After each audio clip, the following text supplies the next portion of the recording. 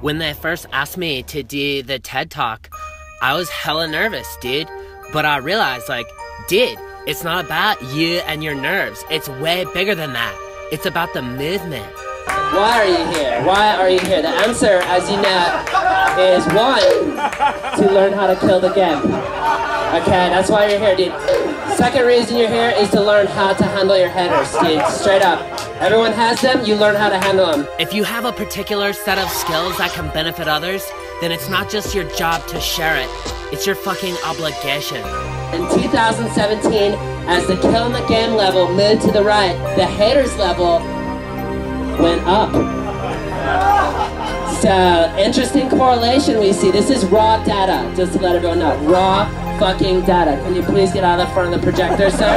Thank you. We're discussing raw data. That is not something that you fuck with, dude. Knowledge is a collective observations of your life experience. So you must live, observe, report, grab. I want to show you a demonstration of an antelope handling a hater. That's the antelope right there. And as you can see right there, he knows there's a hater nearby, dude, but guess what he's doing? Shit. He's ignoring the hate. Let's see what happens.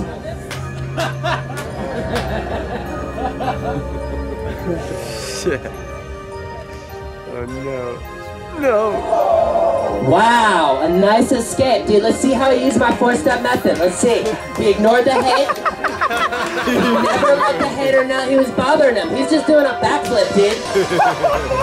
He killed the hater with niceness because he did not kick him in the face. He could have. Could have kicked him right in his stupid gator face. And then guess what he's going to do right now, dude?